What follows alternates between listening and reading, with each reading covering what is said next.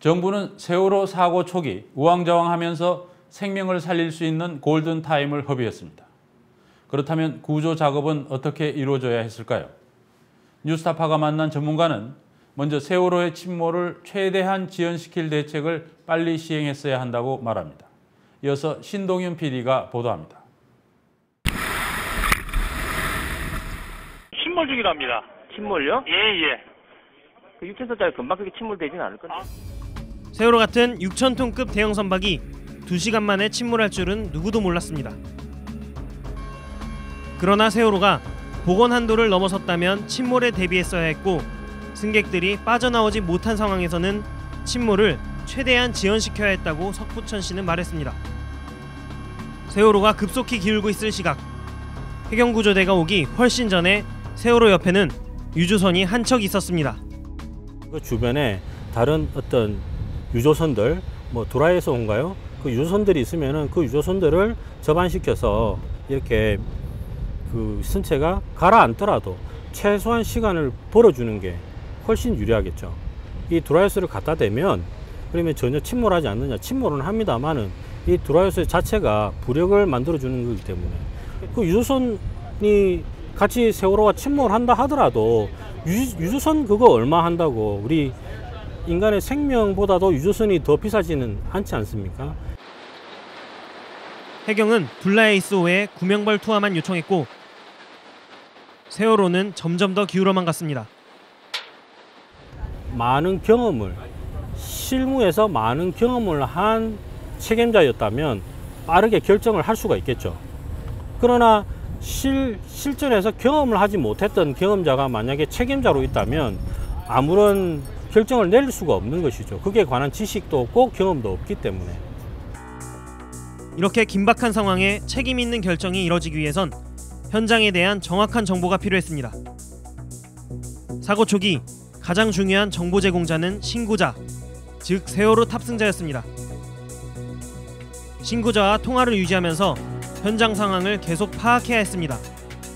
신고자한테 모든 상황을 실시간으로 공급받으면서 모든 정부 기관에 실시간으로 또 알려줍니다. 이게 중요한 이유는 처음에 전화를 건 사람이 빠른 시간 안에 구조를 할 수 있는 어떤 장비와 인력을 현장에 투입해야 되는데 만약에 전화를 받고 네 알았습니다 연락하겠습니다 하고 전화를 끊어버린다면 어떠한 상태의 어떤 위험에 처했는지 알 수가 없습니다. 하지만 구조 당국은 신고 접수 후 간단한 질문만 하고는 끊어버렸습니다. 어, 지금 해경에 지금 판정해서 해경 전화번호는 하나 불대입니다. 지금 빨리 좀 해경을 그 우리가 지금 이제 119 쉬고 아마 그게 또 통보를 해 연락을 해야 될거 아니에요. 미국에서는 3C라고 합니다. 3C. 항상 책, 콜, 케어를 해야 되는데 책, 책은 이 지금 벌어져 있는 상황을 빨리 파악하는 겁니다. 그 다음에 이제 콜을 하게 되죠. 콜. 전화를 겁니다. 119, 119가 되겠죠. 미국 같으면 911이 되고 119에 전화를 걸어서 상황을 알려줍니다. 그러면 그 다음에 케어가 되죠. 일단 배가 가라앉은 뒤에는 어떤 조치를 취해야 했을까?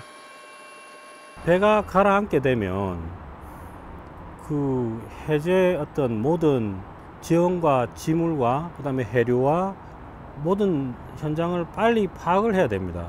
그래서 어, 사고가 난다면 제일 먼저 그 마을에 진도 앞바다 있죠. 그 이장님이나 혹은 거기에서 오랫동안 20년, 30년 동안 어업을 해오신 그 마을의 전문가를 빨리 모시고 와야 돼요. 실제 우리가 미국에서 구조 작업을 나갈 때 항상 그 지역에서 오래 사신 분 항상 모셔 오셔서 물어보면 정확한 답을 알 수가 있습니다. 또 한편으로는 그 자초된 세월호의 구조, 설계 구조를 알아야 돼요. 왜냐하면 딥시 다이 버, 들이 어, 조난자를 구조를 하러 가려면은 그 배의 설계도를 빨리 입수받지 못하면 저희가 들어갈 수가 없습니다. 그러나 세월호 침몰 초기 구조 당국은 조류가 가장 셀 때 잠수를 시도해 골든 타임을 흘려보냈고 설계도는 사고 발생 이틀이 지나서야 언딘 측에 제공됐습니다. 조류와 설계도를 파악했으면 무엇보다 선내 진입을 위한 가이드라인 설치가 급선무입니다. 조류가 강했다면 가이드라인 설치를 위해 다이빙벨 형태의 구조물을 활용했어야 한다고 석 씨는 말합니다.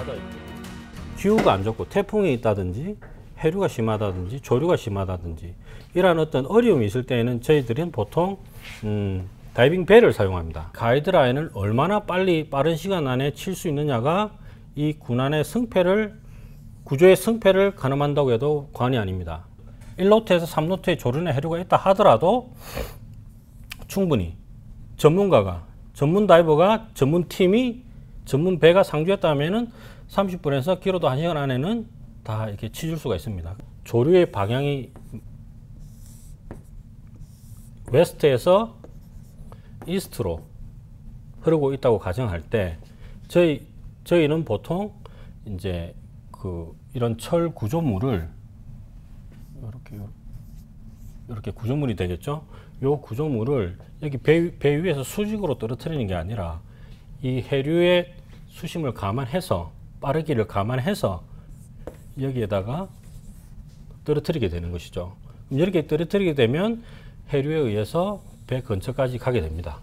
그럼 이렇게 되면은 다이버가 빠른 시간 안에 가이드라인을 칠 수가 있습니다.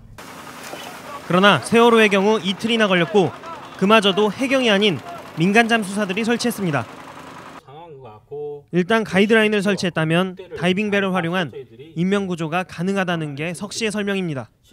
이 가이드라인의 치, 치짐과 동시에 이 다이빙 벨은 사람이 조절하는 게 아닙니다. 기계가 올리고 내리기 때문에 엘리베이터식으로 올리고 내리기 때문에 훨씬 편하고 구조가 가능하죠. 근데 이게 왜 가능하지 못했냐는 저도 잘 이해가 되지 않습니다. 조류는 크게 문제가 되지 않는다는 겁니다. 예, 저희들은 뭐 1노트에서 3노트 정도는 항상 어, 가이드라인을 치고 있는 상황이고 또 심지어는 이 Gulf of Mexico는 어, 태풍이 일주일에도 서너 번씩 이렇게 오기 때문에 저희들이 작업하는 중에도 태풍이 오기도 하고 또 태풍이 있는 줄 알면서도 가기도 합니다. 다만 특정한 구조 방식을 정해서 구조 작업을 하던 도중에 다이빙 벨 투입 등 다른 방식으로 전환하는 것은 신중해야 한다고 덧붙였습니다. 다이빙 벨이 만약에 들어간다면 처음에 사고 초기 당시에 빨리 다이빙 벨이 들어갔어야죠. 나중에 다이빙 벨을 치게 되면은 하나의 어떤 setup이 된 어떤 바지선이나 DSB나 어떤 선박이 구조를 하기 위해서 모든 장비를 setup하는 데에는 최소한 몇 시간부터 최대한 며칠은 걸립니다. 그래서 빨리 다이빙 벨이든 구조물을 넣어서 어, 해류와 조류의 어떤 영향을 최소화시키면서 할 수 있는 방향을 정해서 들어가야지 중간에 이렇게 바꾸는 거는 아주 힘들고 사실상 불가능합니다. 석 씨는 이런 모든 조치들이 사고 초기 한두 시간 안에 신속하게 이루어졌어야 한다고 말했습니다. 이를 위해선 잠수 지원선의 확보는 물론 전문 구조 인력이 평소에 끊임없는 훈련을 통해 어떤 상황에도 대응할 수 있도록 숙달돼 있어야 한다고 지적했습니다. 해경을 해체한다고 해서 다음에 또 일어날 사고를 방지할 수 있다. 이런 가정은 맞지 않는 걸로 저는 생각합니다. 해경이 해체되고 안 되고는 중요한 게 아니라 뭐가 지금 문제였는지를 정확히 파악을 해야 됩니다.